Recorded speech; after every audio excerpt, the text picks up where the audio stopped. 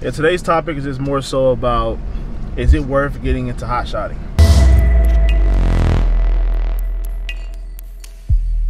I'm showing you what I'm doing, why we're doing it.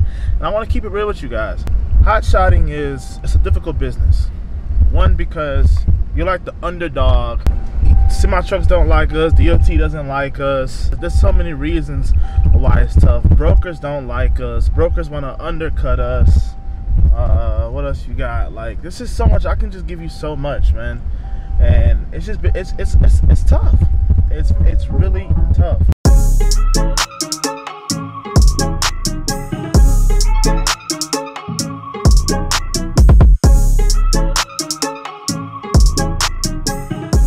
And you have to be really, really strong to really deal with the bullshit that goes on in this trucking world. Especially for hot shots. It's not easy for us, man. It's just really not easy. So topic of the video is, exactly what this video is going to be about. Um, should you get into hot shot trucking 2021? A lot of people say yes. A lot of people say no. I can't really tell you, man. I can't really give you. Uh, I'm trying to find this office. Hold on.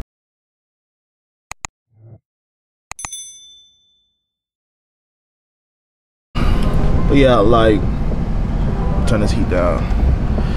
It's just a matter of you, man. Um, I'm saying if you're gonna get into this business, like for instance, if you want to scale up, like you know, people want to get multiple trucks and stuff. I don't think you should be getting into hotshot trucking if you're trying to do actually create a company, like a real company, trying to have multiple trucks. I think everybody should get their learning experience. Starting a company, to me, I feel like you should get your learning experience.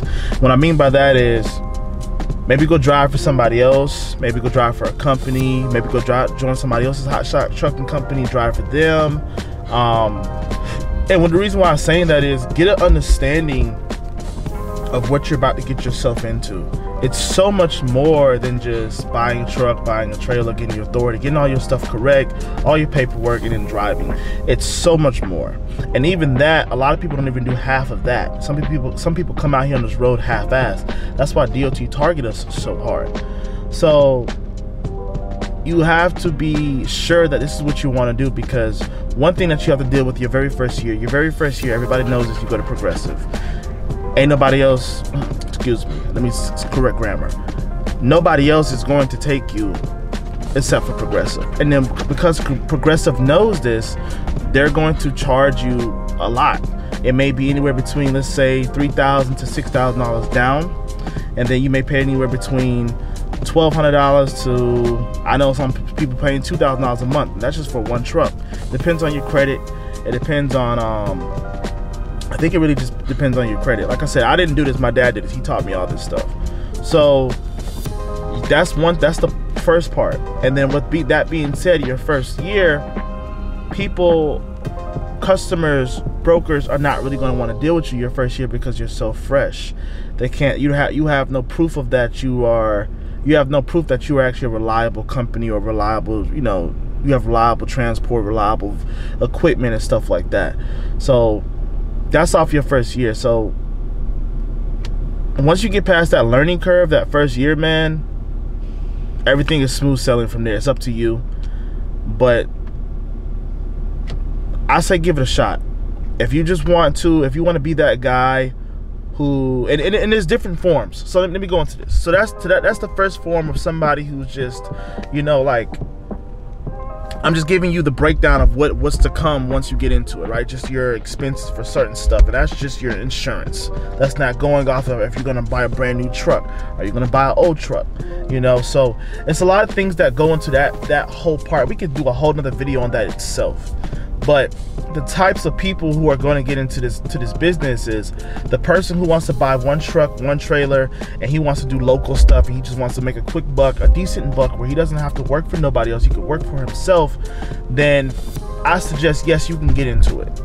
You know, you can get into it, you can buy yourself an old truck, buy yourself an old trailer, it's paid off, pay, you know, cash, buy it cash. If your pockets are right, buy it cash and you can work locally, you know, wherever you stay at within the, within the 200 something mile radius, and you can do work there and make a decent living. Um, Or you can be like us who, you know, you want to upscale into your business. You want to get multiple trucks so you can have multiple streams of revenue and get you know, just you want to build a real deal company. Um, I don't think nobody should be doing that 2021 with hot shotting. I feel like if you're gonna spend that much money on a truck, especially buying it brand new, you might as well buy yourself a semi truck. These trucks brand new are sixty thousand dollars. A, uh, a used semi truck, if you get a used semi truck, let's say upwards of four hundred something thousand miles and up, you're gonna spend about forty to sixty thousand dollars, just as much you're gonna spend on this. So I don't really have an answer, and I don't tell people what they should and should not do. It's it's up to you. I suggest not getting into a hot shot trucking business this year, but that's just my opinion. Now, you could do whatever you want to do. That's you. You know, um, don't let me tell you what to do. Don't let me discourage you of what you should and should not do. If you feel like this is a comfortable business, this, you're comfortable enough to get into this business and be successful, by all means do it. You see what I'm saying? But I want you guys to have a plan. I want people to have a plan because my dad hopped into this business and he had to learn a lot of different things. It's now three, four years now. He's been in. I've been in it for two years now, and you know we're doing a lot better than what we're doing from the from the jump. But we had to learn that. So the guys who are watching me, the guys who want to do this, have a plan. Don't just buy a truck and then buy a trailer and say I'm going to come out here and do this. Have a plan. All right, you gotta have a plan. But um, other than that, man, that's that's really it. You know, that's really it. Should you do it for 2021? It's solely up to you. Are your is is your money in order? Do you have a plan? Do you have a truck and trailer? What is your end game? How far are you gonna go? Are you gonna just be just you? Are you gonna expand into other trucks? Are you gonna go into the semi world? Or are you just gonna jump into the semi world? You know what I mean? It's, it's up to you. It's really, really up to you.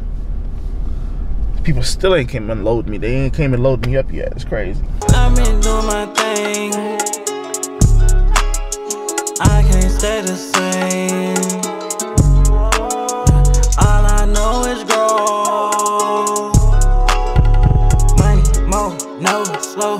Built from flow, fly like crow. I'm human, but I feel superhuman.